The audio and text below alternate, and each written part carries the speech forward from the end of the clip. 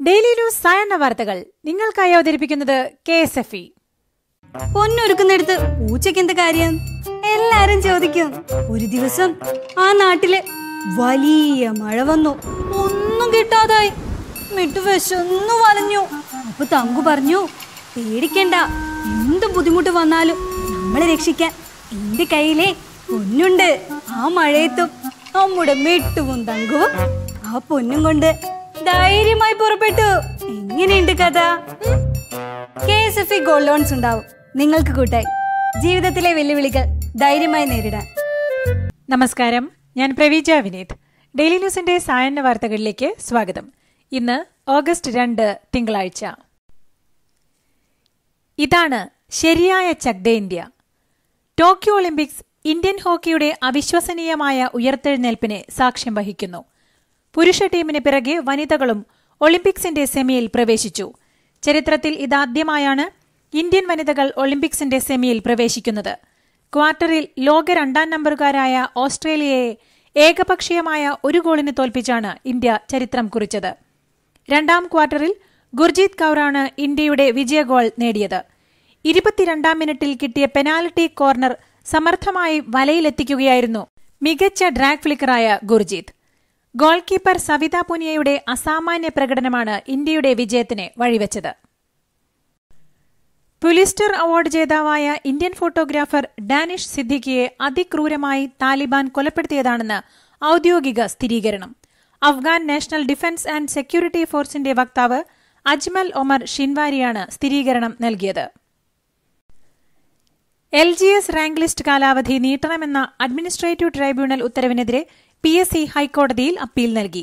Rank ലിസ്റ്റുകളുടെ കാലാവധി നീട്ടണമെന്ന ഉത്തരവ് സ്റ്റേ ചെയ്യണമെന്നാണ് ആവശ്യം. ഉചിതമായ കാരണങ്ങളില്ലാതെ നിലവിലുള്ള ലിസ്റ്റിന്റെ കാലാവധി നീട്ടാനാകില്ലെന്ന് അപ്പീലിൽ പി എസ് സി വ്യക്തമാക്കുന്നു. കേരളത്തിലെ പബ്ലിക് സർവീസ് കമ്മീഷനെ കരുവന്നൂർ ബാങ്കിന്റെ നിലവാരത്തിലേക്ക് താഴ്ത്തരുതെന്ന് Shafi Parambil M L A. P S C rank പട്ടികയുടെ കാലാവധി നീട്ടണമെന്നാവശ്യപ്പെട്ട് അടിയന്തര പ്രമേയത്തിന് അനുമതി തേടി സംസാരിക്കുകയായിരുന്നു ഷാഫി.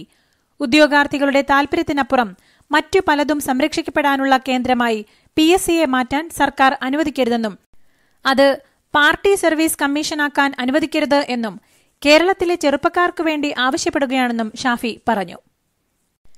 മറ്റന്നാൾ കാലാവധി അവസാനിക്കുന്ന പി എസ് സി റാങ്ക് പട്ടികകൾ നീട്ടാനാവില്ലെന്ന് മുഖ്യമന്ത്രി പിണറായി വിജയൻ നിയമസഭയിൽ. കോവിഡ് കാലമായിട്ടും ഒഴിവുകൾ റിപ്പോർട്ട് ചെയ്യുന്നതിൽ കാലതാമസം ഉണ്ടായിട്ടില്ല. മൂന്ന് വർഷത്തെ കാലാവധി കഴിഞ്ഞ പട്ടികയാണ് റദ്ദാക്കുന്നത്. ഇതിൽ കൂടുതൽ റാങ്ക് ലിസ്റ്റ് നീട്ടണമെങ്കിൽ പ്രത്യേക നിബന്ധനകളുണ്ടെന്നും മുഖ്യമന്ത്രി പറഞ്ഞു. പ്രതിപക്ഷം കൊണ്ടുവന്ന അടിയന്തര പ്രമേയ നോട്ടീസിന് മറുപടി നൽകുകയായിരുന്നു മുഖ്യമന്ത്രി. P S C rank list നീട്ടില്ലെന്ന് മുഖ്യമന്ത്രി നിയമസഭയിൽ വ്യക്തമാക്കിയതിന് പിന്നാലെ സെക്രട്ടേറിയറ്റിന് മുന്നിൽ ഉദ്യോഗാർത്ഥികളുടെ പ്രതിഷേധം. വനിതാ സിവിൽ പോലീസ് ഓഫീസർ ലിസ്റ്റിലുള്ള ഉദ്യോഗാർത്ഥികൾ മുടിമുറിച്ച് പ്രതിഷേധിച്ചു. സെക്രട്ടേറിയറ്റിന് മുന്നിലെ പ്രതിഷേധം തുടരാനാണ് സമരക്കാരുടെ തീരുമാനം. വിവാഹം കഴിക്കാനായി ജാമ്യം തേടിക്കൊണ്ടുള്ള കൊട്ടിയൂർ പീഡനക്കേസ് പ്രതി റോബിൻ വടക്കുംചേരിയുടെയും ഇരയുടെയും ഹർജി സുപ്രീംകോടതി തള്ളി. വിവാഹകാര്യത്തിൽ ഇരുവർക്കും ഹൈക്കോടതിയെ സമീപിക്കാമെന്നും ഹർജി തള്ളിക്കൊണ്ട് കോടതി പറഞ്ഞു. വിവാഹം കഴിക്കുന്നതിനായി ജാമ്യം അനുവദിക്കണമെന്നാവശ്യപ്പെട്ട് സമർപ്പിച്ച ഹർജികളെ കേരളം സുപ്രീംകോടതിയിൽ എതിർത്തിരുന്നു. സി പി എം നിരന്തരമായി വേട്ടയാടിയിട്ടും കെ എം ഷാജിയെ അഴീക്കോട് മണ്ഡലത്തിൽ തന്നെ മത്സരിപ്പിക്കാൻ നേതൃത്വം നിർബന്ധിച്ചെന്നും സുരക്ഷിത മണ്ഡലം നൽകേണ്ടിയിരുന്നുവെന്നും മുസ്ലിം ലീഗ് സംസ്ഥാന ഭാരവാഹികളുടെ യോഗത്തിൽ വിമർശനം. കെ എം ഷാജി തന്നെയാണ് ഈ വിഷയം ആദ്യം അവതരിപ്പിച്ചത്. ഈ ഇത് എപ്പോൾ എത്ര വരുമെന്ന് ആർക്കറിയാം? അതിനാൽ അവതരിപ്പിക്കുന്നു മാക്സോജീനിയസ് ഓട്ടോമാറ്റിക് മെഷീൻ ഇത് കൊതുകുകൾ സാധാരണ വരാറുള്ള സമയം അനുസരിച്ച് അറ്റാക്ക് അല്ലെങ്കിൽ പ്രൊട്ടക്ട് മോഡിൽ ഓട്ടോമാറ്റിക്കലി ഷിഫ്റ്റ് ആയിക്കൊണ്ടിരിക്കുന്നു. അതായത് ലിക്വിഡ് വേസ്റ്റ് ആകുന്നില്ല. ഇനി ഇടയ്ക്കിടയ്ക്ക് എഴുന്നേറ്റ് നോ മോഡ് ചേഞ്ച് ഇന്ത്യ വിശ്രമിച്ചോളൂ. മാക്സോജീനിയസ് ഓട്ടോമാറ്റിക് ഇന്റലിജന്റ് പ്രൊട്ടക്ഷൻ ഗായിക കല്യാണി മേനോൻ അന്തരിച്ചു. എഴുപത് വയസ്സായിരുന്നു. പക്ഷാഘാതത്തെ തുടർന്ന് ചെന്നൈയിലെ സ്വകാര്യ ആശുപത്രിയിൽ ചികിത്സയിലായിരുന്നു. ഋതുഭേദ കൽപ്പന ജലശയ്യയിൽ പവനരച്ചെഴുതുന്നു തുടങ്ങിയവയാണ് പ്രശസ്ത ഗാനങ്ങൾ. സംവിധായകനും ഛായാഗ്രാഹകനുമായ രാജീവ് മേനോൻ മകനാണ്. തമിഴ്നാട്ടിൽ പ്രതിദിന കോവിഡ് ബാധിതരുടെ എണ്ണം വർദ്ധിച്ചതോടെ ജനങ്ങളോട് അഭ്യർത്ഥനയുമായി മുഖ്യമന്ത്രി എം കെ സ്റ്റാലിൻ. കരുതലോടെ ഇരുന്നാൽ മാത്രമേ കോവിഡിന്റെ മൂന്നാം തരംഗത്തെ അതിജീവിക്കാൻ കഴിയൂവെന്നും ജനങ്ങൾ സഹകരിച്ചില്ലെങ്കിൽ സംസ്ഥാനത്തിന് വീണ്ടും ലോക്ഡൌണിലേക്ക് പോകേണ്ടി വരുമെന്നും വീഡിയോ സന്ദേശത്തിലൂടെ സ്റ്റാലിൻ മുന്നറിയിപ്പ് നൽകി. ആന്ധ്രാപ്രദേശ് തെലങ്കാന സംസ്ഥാനങ്ങൾ തമ്മിലുള്ള കൃഷ്ണ നദീജല തർക്കവുമായി ബന്ധപ്പെട്ട ഹർജി കേൾക്കില്ലെന്ന് chief justice N V Ramana. താൻ രണ്ട് സംസ്ഥാനങ്ങളുടെയും ഭാഗമാണെന്ന് പറഞ്ഞ ചീഫ് ജസ്റ്റിസ് വിഷയം മധ്യസ്ഥതയിലൂടെ പരിഹരിക്കണമെന്നും ആവശ്യപ്പെട്ടു. കർണാടക കേരള അതിർത്തിയായ തലപ്പാടി ചെക്ക് പോസ്റ്റിൽ പോലീസും നാട്ടുകാരും തമ്മിലുണ്ടായ വാക്തർക്കം സംഘർഷത്തിൽ കലാശിച്ചു. കോവിഡ് നിയന്ത്രണങ്ങൾ കടുപ്പിച്ച പശ്ചാത്തലത്തിലാണ് നാട്ടുകാർ പ്രതിഷേധിച്ചത്.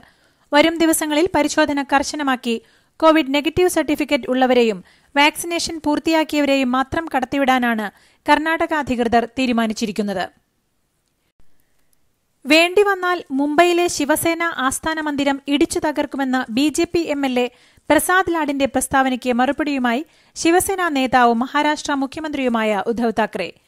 ഞങ്ങളെ ആക്രമിക്കുമെന്നും മർദ്ദിക്കുമെന്നും ഭീഷണിപ്പെടുത്തുന്നവരോട് പറയാനുള്ളത് അത്തരമൊരു നീക്കത്തിന് മുതിരുമ്പോൾ ഞങ്ങൾ തിരിച്ചടിച്ചാൽ അത് താങ്ങാൻ ബുദ്ധിമുട്ടാകുമെന്ന് മാത്രമേ പറയാനുള്ളൂവെന്നും ഉദ്ധവ് പറഞ്ഞു.